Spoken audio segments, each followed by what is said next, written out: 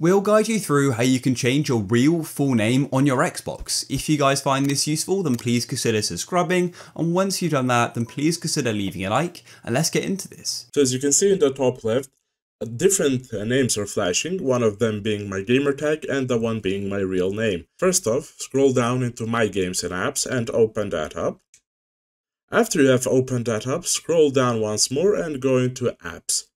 Then scroll to the right and get into the settings application right here and open it up. After you have gotten into the settings application, scroll down once until you get into account.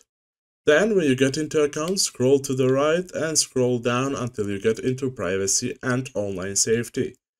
Open that up. Now that you are inside of this, select Xbox privacy and open that up once more. Now after you have gotten inside of this, Scroll down and select the View Details and Customize option. After we have gotten into this section, scroll down once more and select Profile. Now when this opens up, you scroll to the right and you find this here called How You Look.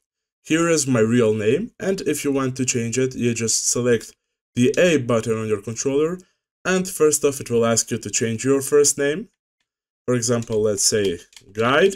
Then we press this button to continue and here is your last name. Here we can write Realm. And as you can see, it's the name is currently changing and now I'm called Guide Realm. You can change this as much as you want and as often as you want. Now let's go back to the home screen so you can see it changing. Now it's my gamer tag and now it should change to Guide Realm. There it is. That is it for this video. Thank you for watching. See you in the next one.